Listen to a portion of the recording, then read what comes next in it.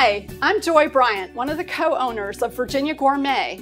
Everything that we carry in our shop is all made right here in Virginia, and it's either all natural or organic.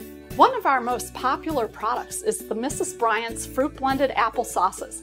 It's a pure Virginia product. We make the applesauce right here at Virginia Gourmet. One of the more interesting things about the Mrs. Bryant's Fruit Blended Applesauce is that it was reviewed by the Washington Post as the best applesauce ever in a jar. It has the consistency of apple butter, which makes it really nice to use as other items besides just applesauce or a side dish. I like to use it as a spread on a biscuit. The next product that we have is our monastery creamed honey. This is made by the monks at Holy Cross Monastery in Berryville, Virginia. The creaming is not a cream that's added, but air that's actually whipped into the honey that keeps it from crystallizing, so the honey stays good forever. It is some of the most delicious honey you'll ever have. One of the unique things about the monastery creamed honey is that unlike other honeys, it doesn't run.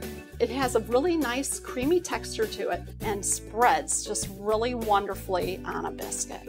When you arrive in Williamsburg, make Virginia Gourmet your first stop and stock up on all our Virginia finest products to make your visit a true Virginia experience. And while you're here, grab a bite to eat in our cafe.